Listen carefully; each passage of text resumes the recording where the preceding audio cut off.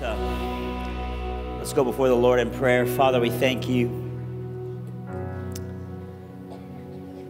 We thank you that we are the children of the God Most High, that we are a royal priesthood, that we're sons and daughters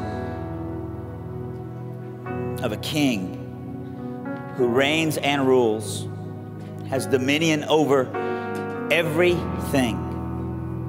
Father, we thank you that we have that peace.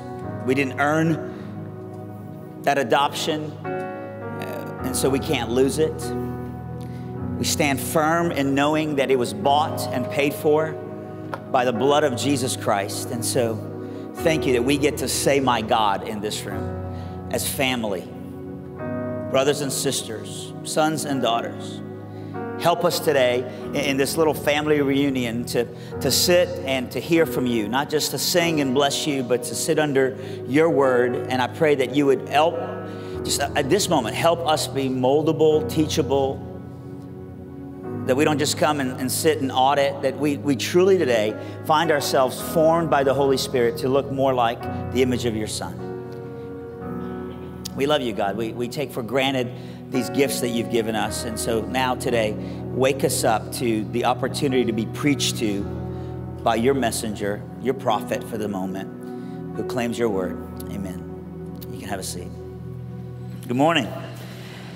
Hope you're doing well. Hey, uh, just a couple of quick announcements before we introduce our guest to you. Uh, I think this is also a good time for me to uh, throw uh, one idea in front of you as far as the way that we're scheduling guests out uh, in the future and how that's really a, a gift uh, to us in, in, this particular moment in, in, history. Campus community is tonight. We're going to be in week two of Citizens.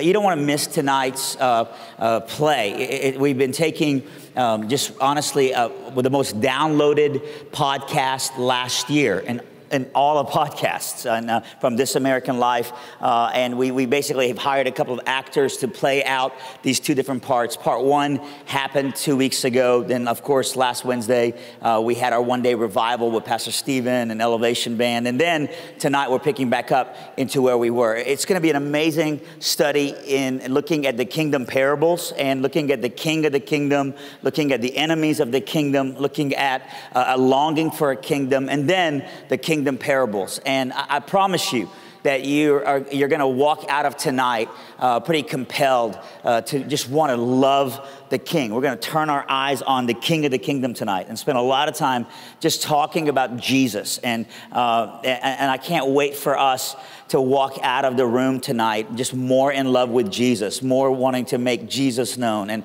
and just, it's going to be a night that's just going to be honestly scattered, covered, and smothered, all right, in, just Christology. And so be a part of tonight uh, if you can. Um, we uh, had Michelle Williams originally scheduled for today, and we have a scheduling conflict. We can't wait to have her back. She's excited about being able to come back uh, next semester with us. We're already looking to finalize the date on that. Uh, and uh, Tim Tebow, by the way, was supposed to be with us this semester. He was supposed to be with us the morning after the Super Bowl, and, uh, and he had to reschedule as well. And, and uh, this is a good time for me since Michelle uh, is rescheduling with us to kind of bring up this, this new thing, this new frontier that we've had a chance to be a part of. Uh, when I came here about three years ago, about two or three semester, I mean, two or three convos out of a year, out of the 88 convos that we had, would have what I would consider to be a um, household name guest, somebody that uh, doesn't get to go to the mall like you and I get to go to the mall because they just would get just raided. They doesn't just show up at the airport because they never make their flight with just people just fangirling them to death, you know? And so couple of times a year, we would have that level of a guest, somebody who is uh, beyond just famous for a moment. But recently, because God has really raised uh, the, the opportunities that we've had as a university to be a platform of ideas, I think Bernie Sanders said it best when he said, I didn't come to Liberty to speak to, you know, 12,000 college students. He goes, I, I, knew most of them weren't even registered in this state to vote. He said, I didn't come to this state to, uh, to, to this room to speak. He goes, he goes, I came here to speak to 2.1 billion Christians because I believe this platform right here, Liberty's Convocation, is uh, the, the, the, the gateway to get the ear of 2.1 billion Christians. And in the last two, two, three years, we've really seen God elevate this stage. It's become that place. And so we no longer have just guests who used to play professional football or guests who used to be, you know, on the cover of Sports Illustrated. All of a sudden, we have very current guests who at this very moment are at the pinnacle, right, uh, of their influence. And with that comes uh, uh, uh just a, an another level of um, demand on somebody's schedule. And so, uh, Tim Tebow, for example, was going to be with us, but then the day after the Super Bowl, he's been asked to do some things. And so, uh, we love that he gets those opportunities and he feels enough at home with us to say, hey, can I reschedule for another date? I still want to come. I love Liberty. Had a blast the last time I was there. Uh, you know, I think he's going to find his wife among this room probably. All right, so can't wait for that to happen. But, but I'm just telling you, uh, on occasion, we're going to move some people around, but that also comes the other way as well, as we announced the schedule to you uh, earlier this semester, right? And we went live with the schedule. Uh, what we didn't have in that moment was something that we were developing but hadn't been confirmed, in that Steph Curry is now on the schedule, right? And, and even this morning, um, and this weekend, we're developing a, a possibility for uh, just something coming up on the schedule of this semester that would require us moving one guest but then grabbing about nine guests that are going to come for one particular convo that I can't confirm to you yet, but we're almost we're in the red zone for it. And when that happens, you'll know, wow, these things aren't on the schedule and they're amazing that they get to parachute in. And then there are other things that go the other way as well. So I wanted to let you know that, like, as we've really elevated our game. We've got a lot of guests coming in last minute, and then we also will have some guests rescheduling with us last minute. But I love that they feel at home enough to be able to do that and always wants to um, see us as a place where they just frequent and, and give us a message. Our special guest today is Pastor Matt Fry. His daughter is a senior here at Liberty. They are highly involved with Liberty's culture and family. Uh, you'll see Pastor Matt all the time. You know, at, at, football games, he comes to all kinds of conferences here. He's he's involved in our church planting network with Liberty. He uh, he really is no stranger to Liberty University, and I'm just honored that he's going to get to come and open God's Word. Pastor Matt uh, launched his church C3 in North Carolina a few years ago. It just took off, and now they have thousands of members, uh, just really impacting not just that state but the world. They're a very missional church, and um, he also is a leader in the ARC Church Planting Network. That's probably the most influential church planting network right now in, in the world. And he gets to sit at that leadership table and just really works on uh, just is having uh, just church after church after church be planted throughout the world. That, that, and then the kind of churches that they plant are gospel loving churches that are really changing the world. And so Pastor Matt's a part of that as well. He has a book that's coming out uh, in, in, a couple months, but you can uh, today receive a free chapter of it. And he's going to give us a, a, chance to get that on, uh, on download. It, the, the, book is titled I Am. And uh, obviously, you do the math on what that's about. It's about the great I am and how we find our identity. And so, uh, without any further ado, can we just welcome Pastor Matt Fry? So honored to have you, brother. How you going, buddy? Good to see you, David. What's up, Liberty University? You guys doing good this morning? Everybody doing good? Awesome. You guys ready to go? Go ahead and close in prayer. No, I'm just joking right here. Hey, uh, I'm a graduate of Liberty. 1987. Uh, Come on, that was a long time ago. I had hair back then, but I had to get it cut when I came to Liberty, right? I had the long hair, but then I had to get it cut. A lot of rules back then that you don't have today, right? Uh, some of you don't know this, but I used, used to, have to have to wear ties to class, right?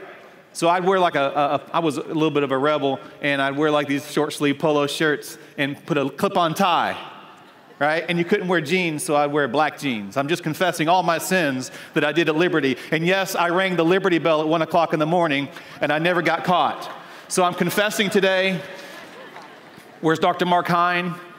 I'm confessing. I don't know if I need to get written up later on, but it's great to be at Liberty. Huge respect for the Falwells. Aren't you thankful for Jerry Falwell and Becki Falwell and Jonathan Falwell and Shari Falwell, the old Falwell family. Just want to honor them right now. I am a, a, a living example of the impact of Liberty University. And this is where God moved in my life. This is where God uh, called me to surrender to Him. This is where God called me to ministry. And uh, my life has never been the same. And I just love coming back to Lynchburg, Virginia, love coming back to Liberty. The last time I spoke, this is my second time in convo. The last time I spoke, the stage was down there. So that tells you it's been a little while. And so it's good to be back at my alma mater. And I've got, uh, as uh, David mentioned, my daughter Gloria is a senior graduating in May. Praise the Lord. Hallelujah, right? And my son Caleb is uh, 18. He's graduating from Liberty University uh, Academy online. And uh, so I have two graduating. In fact, all three of my children, check this out, are graduating on the exact same day.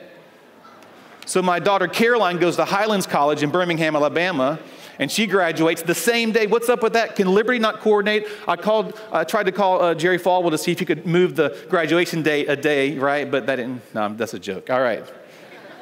So, and here's the challenge both of my girls think they're daddy's favorites. And so that's, that's a, so um, Martha and I are going to, my wife Martha's here and she's going to go to Birmingham. I'm going to come to Liberty because this is where I graduated from. Amen? All right, so I do want to just recognize I have some C3 church family. Some of our C3 college students are here. You guys stand up. I just want to honor you guys. My wife Martha's here, and, and uh, Gloria, and, and Caleb, and so awesome to have some of the C3 family here. Love you guys. It's going to be a great day. I do have, as David mentioned, a book coming out.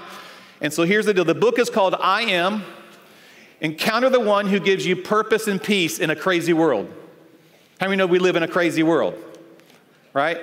And so we're going the whole book is on when I have a fresh encounter with the great I am, that's when I discover who I am. There's a direct connection between having a relationship with the great I am and discovering who I am, and then living out that purpose and that peace in a crazy world. So you can rise above all the craziness around us and live the plan and purpose that God has for your life. So you, today, you can pre order it, right? Right now. Go to encounterthegreatiam.com. Let's take a 30 second break. Go to encounterthegreatiam.com and you can download one, one chapter for free right now. Go ahead and get one chapter for free. Chapter one, topic are, are you satisfied? And I share some stories in there about being in school here at Liberty and some other stuff like that throughout the book, and some of that's in chapter one. Go ahead right now and download it. And then next Thursday, you'll get a notice on Thursday of next week, there's gonna be all kinds of free stuff on encounterthegreatiam.com. Uh, you can get free videos and all kinds of stuff that you're, you're going to get more chapters for free by downloading the book next Thursday. But you can download it right now, Barnes & Noble, Amazon, all that stuff, right? Well, today I want to talk to you about labels. Everybody say labels. How many knows in life sometimes labels get put on us? I like this stage. You get to walk around. This is cool. You get exercise and preach at the same time. Y'all doing all right, all right over here? Cool. We get labels put on us, right? We, sometimes we put labels on ourselves. Sometimes other people put labels on us. Maybe it's a coach, maybe it's a teacher, maybe it's a leader, maybe it's a parent, maybe it's a friend. And sometimes these labels will stick on us, right? So labels are powerful. We're going to talk about labels today. Labels and logos, they, they can say a whole lot about things, can't they? You look at logos, let's take a look at, at a few logos I brought today. First one, you guys see that? Come on. Any Apple fans in here? Apple fans? What would we do without the iPhone? How about this one? How about Nike? Come on. Where's your shoe game? How about this one? You don't want to see this if you're trying to fast or eat healthy. McDonald's. Hello. When I was a student here in, in, in Lynchburg, didn't, we didn't have the stuff you guys have now. We had like three restaurants you could go to Crown Sterling, and you never went there because it was like $100 million. And you had McDonald's, which is obviously where college students went. And then you had Shoney's. Come on, Shoney's big boy. That was it. Now you guys got all kinds of stuff. This, this Lynchburg is just crazy. How about this next one? We got Walt Disney. Come on, Mickey Mouse. How about this one? How can we live without this next one? Starbucks. How many of you guys already had your Starbucks this morning? Got Starbucks. How many want some right now? David, can you run and get some Starbucks for about 10,000 people, right? How about this next one? I thought about David Nasser when I, IKEA. Come on. They're building an IKEA in Raleigh. Come on. It's coming. It's coming our way. We're the Raleigh, North Carolina people out. We're Raleigh, Durham, Chapel Hill. Come on. ACC country. How, how about the next one? What's the next one? How about the, uh, the Patriots? The Patriots. All right. Raise your hand if you want the Patriots to win Sunday. Raise your hand. All right. How about the next one? Who, one more. Falcons.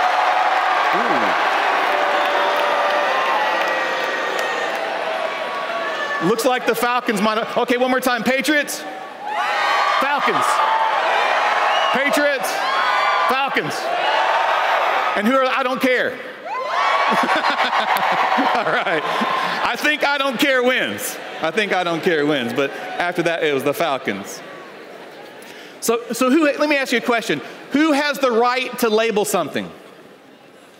Who has the right to label something? First of all, number one, if you're the manufacturer, if you manufacture something, you have the right to label it, right? If you look on your shirt, you look on your jacket right now, some of you have a label. And it tells you something, some labels have some, a little bit of, uh, you know, status. Some labels, you know, you're like, I, I try to cover them up, you know, because it's maybe not what others think is cool. When I was in, in uh, high school, this will this will show you how uh, throwback. How many of you guys your parents maybe told you about those members only jackets, right? Members only. Come on, when I was in high school, if you're rocking the members only with the penny loafers, I mean, you were, you were it. Now you got Kanye shoes, the Yeezys, you got the shoe game, right? That's a big deal, right? Another, number two is if you're the owner. Everybody say owner. If you own something, then you can label it. You have the right to label it. See, visitors don't label things, owners do.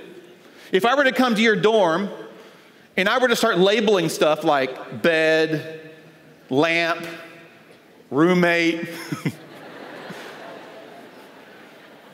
closet, that would be weird. You'd be, what are you doing? This is weird. Why? Because I'm a visitor.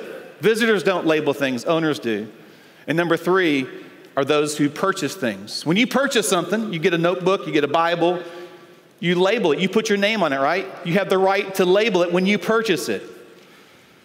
Well, I want to tell you today that, that we have one who came and he, he's the one who manufactured us. He's the one who owns us. Amen? He's the one who purchased us by his blood on the cross and we listen to what God says and we listen to the labels that He gives to us, then that's when we can live out the purpose and plan that God has for our life. And it's okay if you clap. It's okay if you talk back to me. Come on, somebody. It's okay if you help me preach. So, three things. Write this down if you're taking notes. I learned how to take notes when I was at Liberty. So, if you don't take notes, write these things down. Write these three things down. Number one, God made you. Everybody say, God made you. Look at the person next to you and say, God made you. Ephesians 2:10, for you are God's what? Masterpiece, created by God. Think about that. Let that sink in. You are created by God. You are handcrafted by Him. He has created us anew in Christ Jesus so we can do the good things He planned for us long ago. Number two, God owns us. Everybody say, God owns us.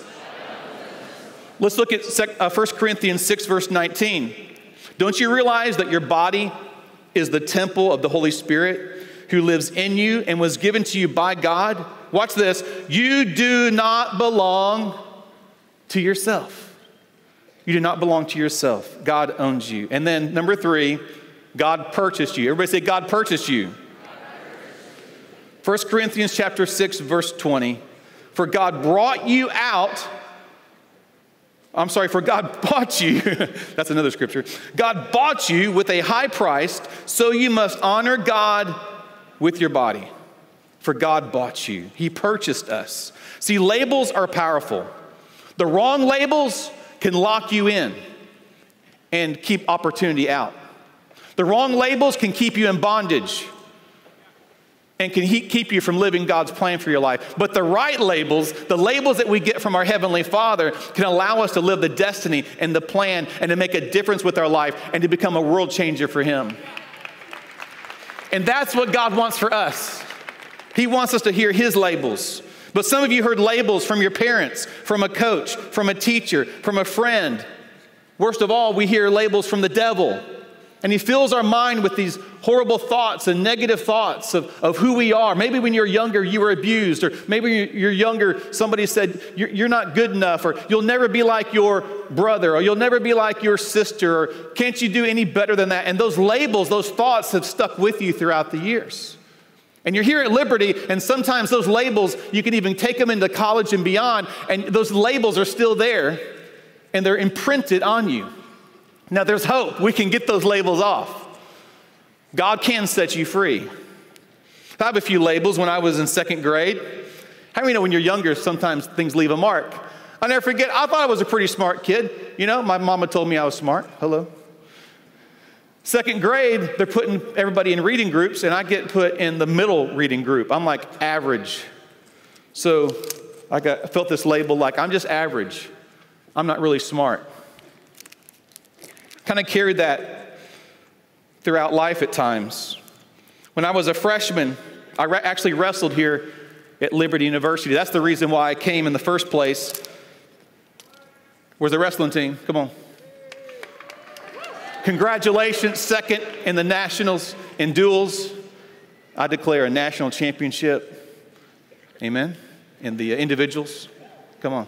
You got to cheer on each other, right? Got to cheer on the wrestling team. Yeah. And the basketball team won last night. Congratulations to the bas- and the women's basketball team won last night. It's a great night for Liberty University. But when I was a freshman, I started wrestling when I was nine years old. And when I was a freshman in high school, I was the first ever freshman from my school to not only wrestle varsity, but went to the state tournament. And I was in the state tournament. I'm a freshman. I'm wrestling this other kid who's really good from around the state. And he went into overtime and he beat me by one point in overtime. And now my season has ended. I didn't place in the state, which was my goal. And I remember sitting down on the floor, and I'm sure my coach meant well, but I'm sitting there, I'm exhausted. I gave it my all.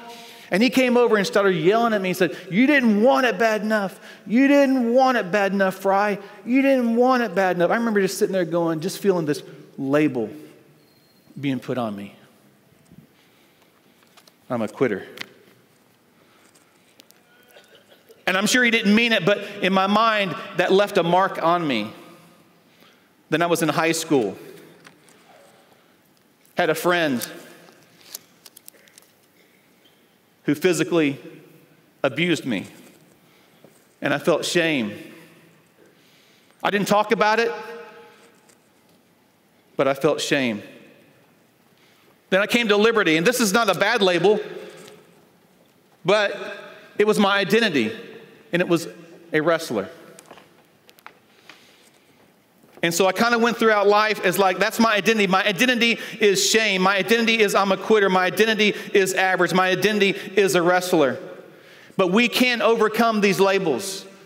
And with God's help, I've been able to overcome these labels and hear the labels and hear what God says about me and find my identity in Him.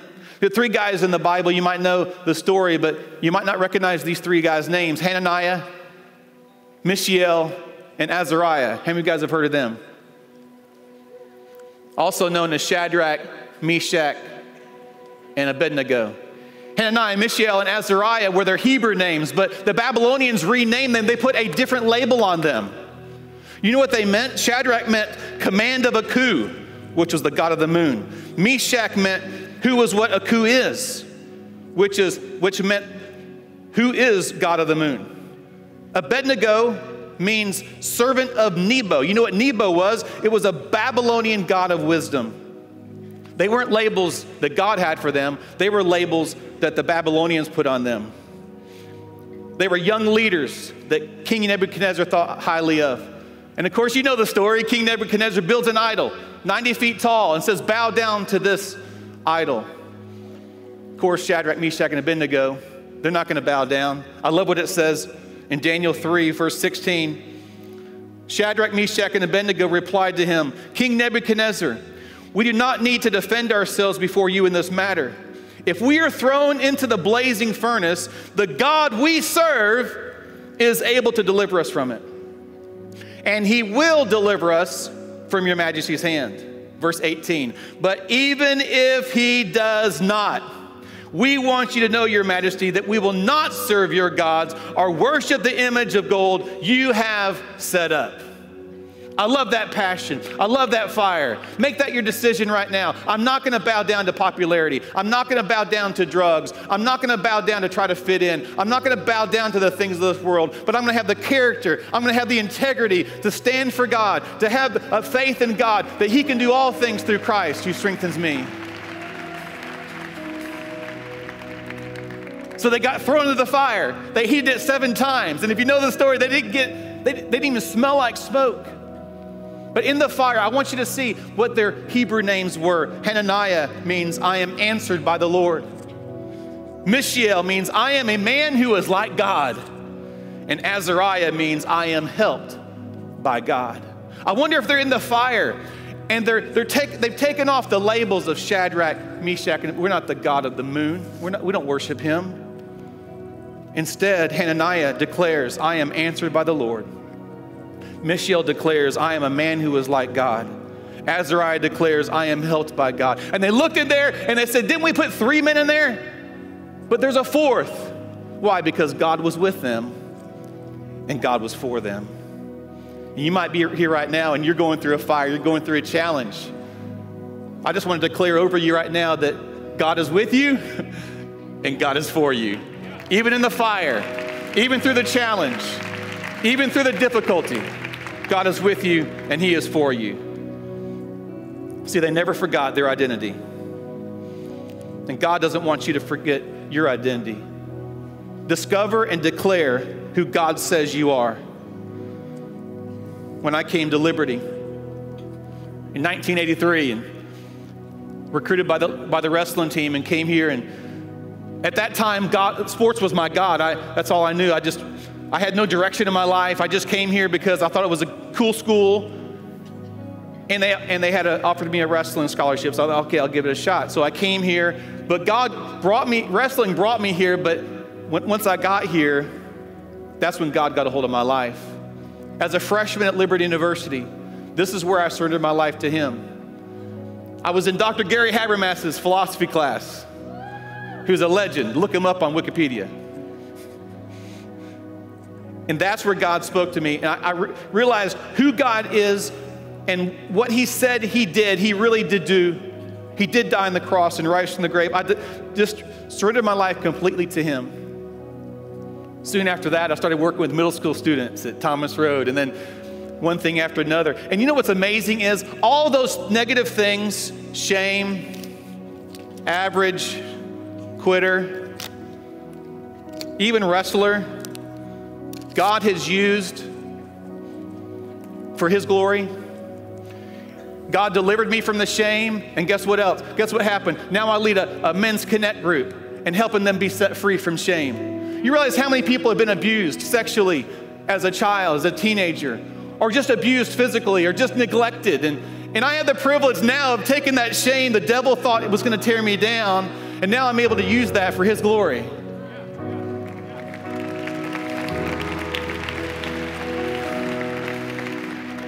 Take, take wrestling.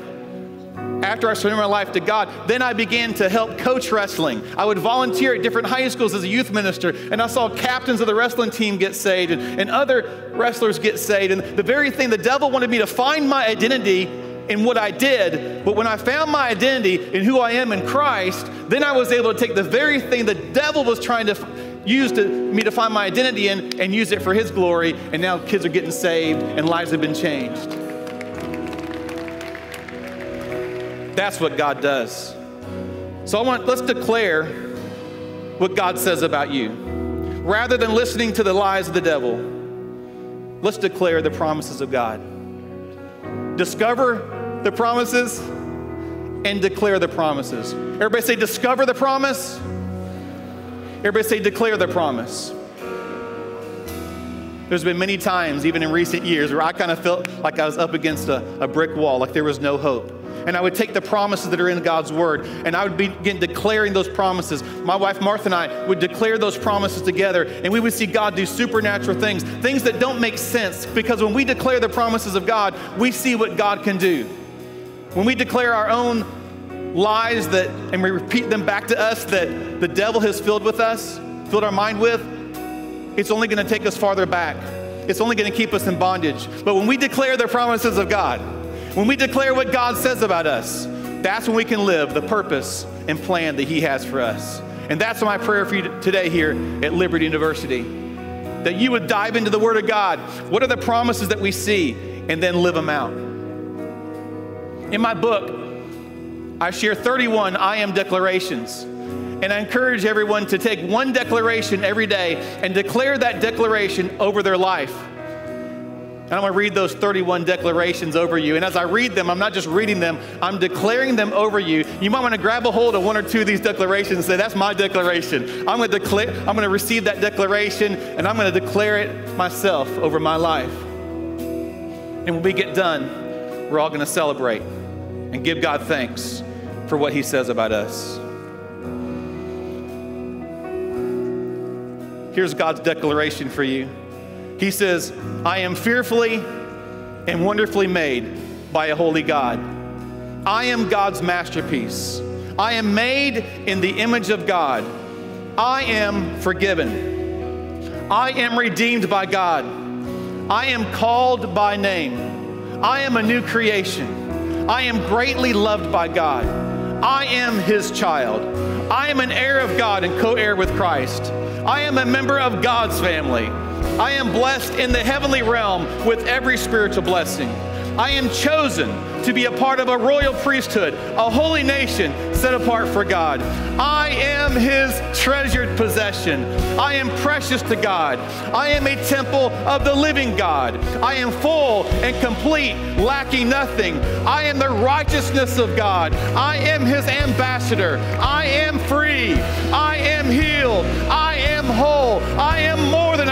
I am a warrior for Christ. I am wanted. I am significant. I am a citizen of God's kingdom. I am sent by God. I am light in the darkness. I am a friend of God, chosen by Him and appointed to bear good fruit. I am His radiant bride without spot or wrinkle. In Jesus' name. In Jesus' name. Everybody shout it. Come on, can we give God praise? Come on, can we celebrate? He's an awesome God. He declares that over you. Your greatest days are ahead. Thank you, Jesus. We worship you, God. I'm more than a conqueror. I can do all things through Christ who strengthens me. Would I declare that over everyone here today? Lift up your hands. I declare this over every student today, God, even those who are watching online, Lord, that they would be re- the labels that the world has put on them, the labels that the devil has put on them, God, they will be removed right now in Jesus' name, and they will live out the purpose and plan that you have for them. I declare this in Jesus' name. And everybody said, Amen. God bless you guys.